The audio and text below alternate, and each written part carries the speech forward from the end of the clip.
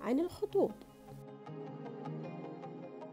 والخط هو يبدأ من نقطة تتحرك كي تتحول إلى أثر فني تجتمع فيه كل الخطوط. هناك أنواع مختلفة للخطوط.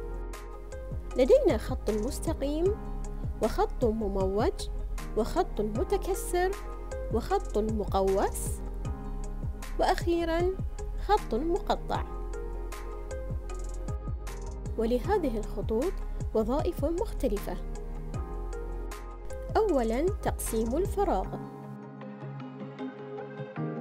ثانيا تحديد الأشكال.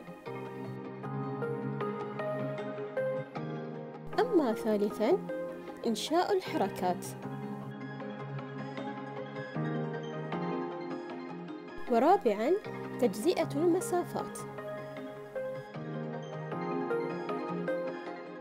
وشكرا لاستماعكم.